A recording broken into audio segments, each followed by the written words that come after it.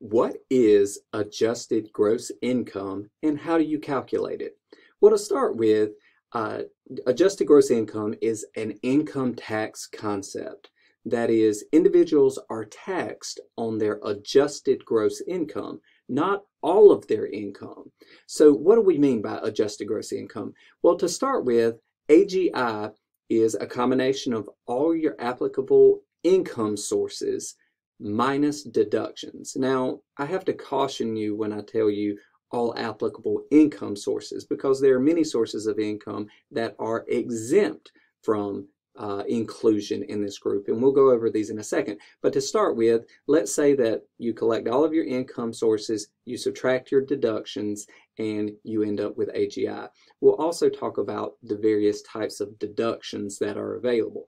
Now, all of these are calculated on your individual income tax return, your Form 1040 for businesses that are subject to income taxation at the entity level, uh, such as uh, corporations taxed under subsection C of the Internal Revenue Code, uh, they would do this same calculation on their applicable income tax return document. But for the individual, it is Form 1040. Now, what are the sources of income generally that are included in adjustable gross income or AGI? Well, to start with, salary and wages. That's number one. That's the money you receive from your employer for do, doing your job. Self employment income. If you have your own business and you work for yourself, the funds that you receive uh, as a flow through uh, your business entity, or if you're a sole proprietor and you receive it directly, all of this is part of your adjusted gross income. Uh, dividends, that's it. If you own a corporate entity form, that is, you possess shares of stock in that entity and you receive some of the profits or retained earnings from that entity.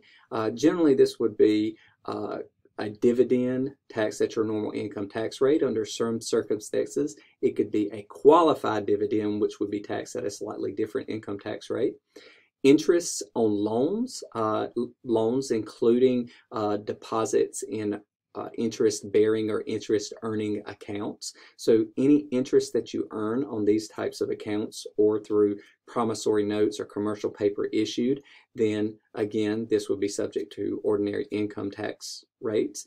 Uh, gains on the sale of property, which is when you sell uh, any real or personal property that you purchased for more than you purchased for it.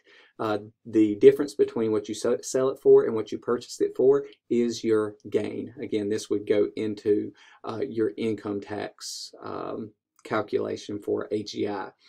What are some sources of income that are not included in uh, your AGI?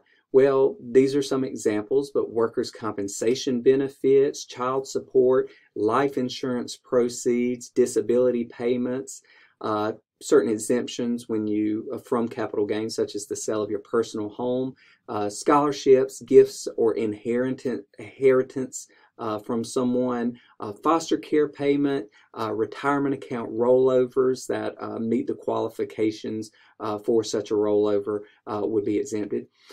now, what are deductions?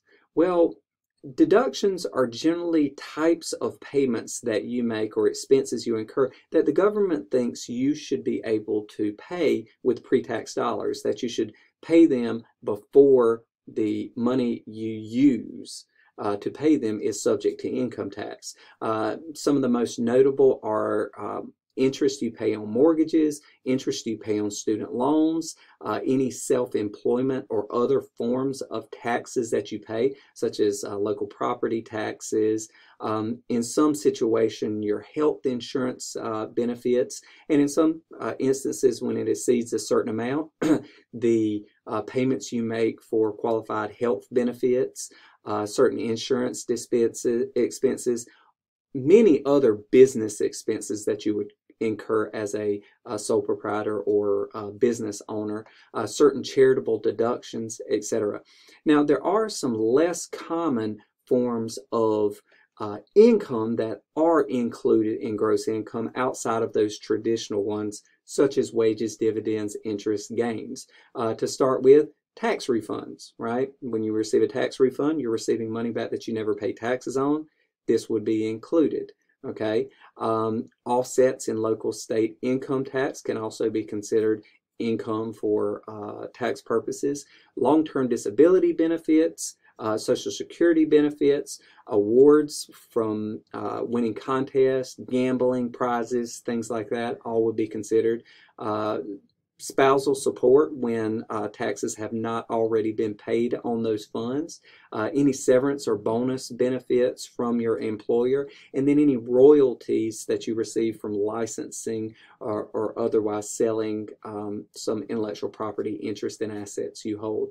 So again, these are lesser, less common forms of uh, income, but collectively, if you add all of these up, you end up with your the income that is subject to taxation minus your deductions, which uh, again can be itemized as we talked about, or you could take a standard deduction uh, based that is uh, applicable to you based upon your individual income tax rate. Cannot take both. You either take itemized or standard deduction, and this comes out to your adjusted gross income, which will be ta- which will be taxed uh, based upon the income tax bracket you are in for that income.